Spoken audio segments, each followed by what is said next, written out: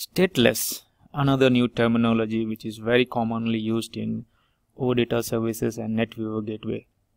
So stateless as the word means less, less means without. So without state. What does that mean? It means that every single request which a client means the outer SAP world sends to SAP or the server, the server forgets it after the response is sent. What does that mean? Say it means that say the client sends request 1 server gives the response to request 1 and it is done. Server does not under, remember what was there in request 1 when another request comes into SAP so that is called stateless. In other terms every single HTTP request that is received by the web server is forgotten after the response has been sent across.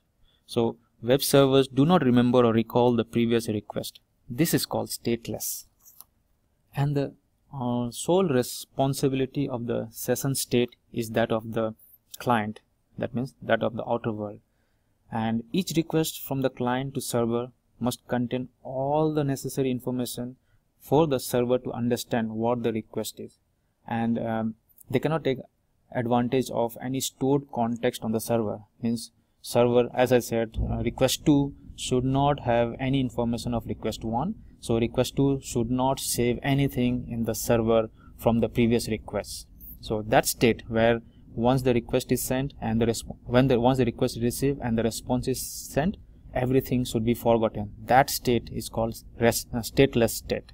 So that is uh, stateless is one of the six guiding constraints which the interface should have in order for that interface to be restful